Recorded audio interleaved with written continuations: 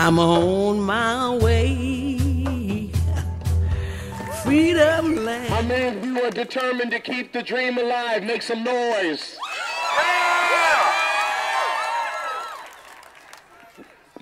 I want to thank Representatives Seaquist and Pettigrew for coming here today uh, to be with us.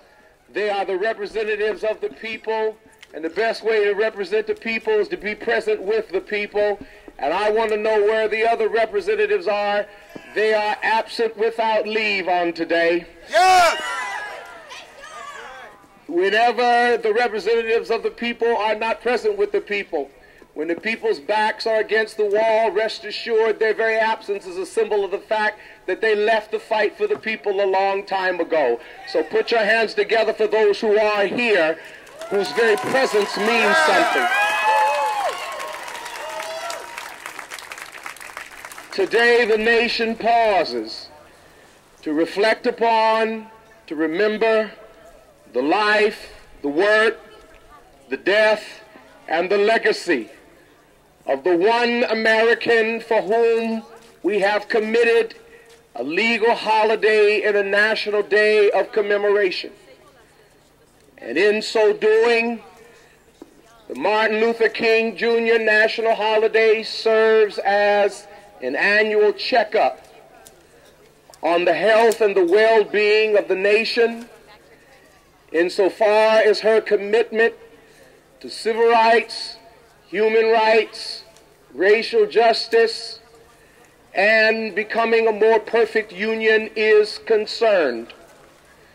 And we've gathered here today from every background, every hue, every race, every religion to say that it is our collective conclusion that whereas we have come a long way, we still have a long way to go.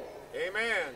Today we launch at once on this day of anti-poverty lobbying, also the racial justice report card against the backdrop of the King holiday, because the King holiday in itself is symbolic of the awareness that any conversation about racial justice has at once to be a conversation about economic justice.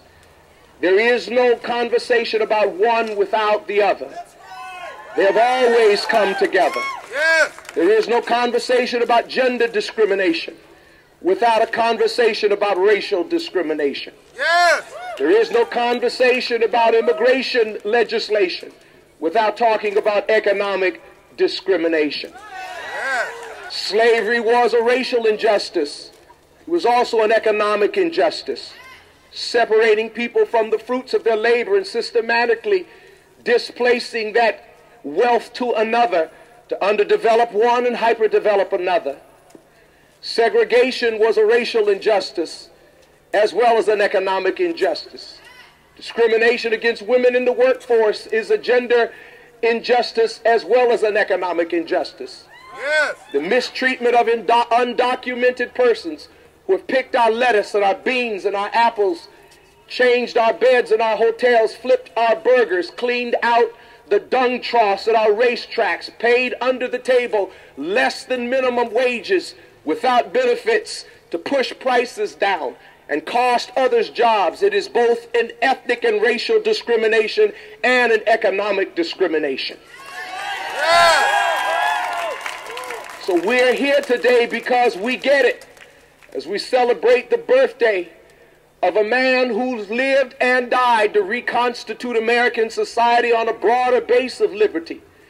A man who, when an assassin's bullet silenced his tongue forever, he was in the midst of a campaign down in Memphis to provide a 10 cent an hour wage increase for 1,300 black garbage workers who suffered the indignity of racial and economic discrimination at once, and who was in the midst of planning a poor people's campaign.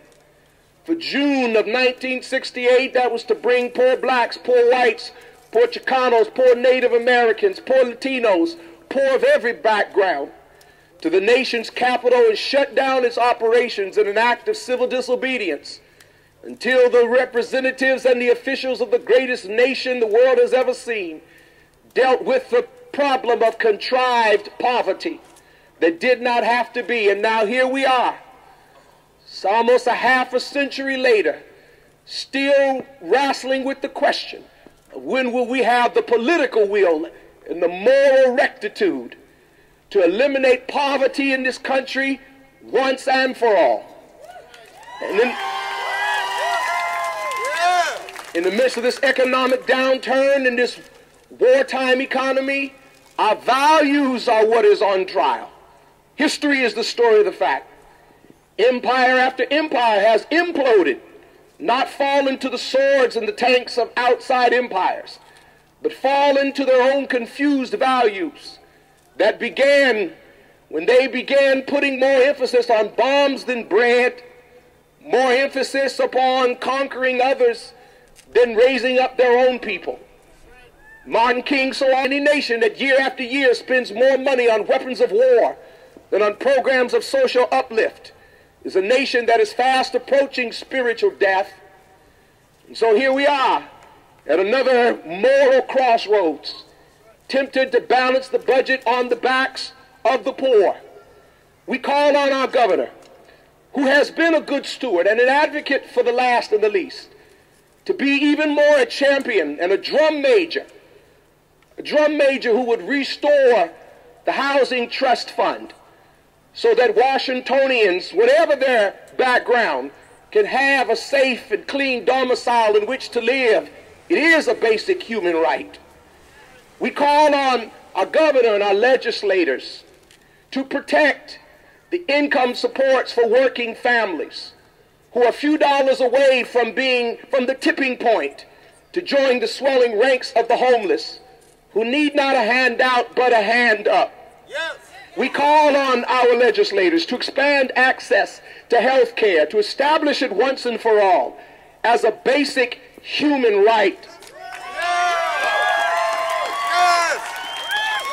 We call on our representatives to represent us and to put money into schools and kids and neighborhoods and to build this nation from the bottom up and not hold it hostage from the top down. Amen.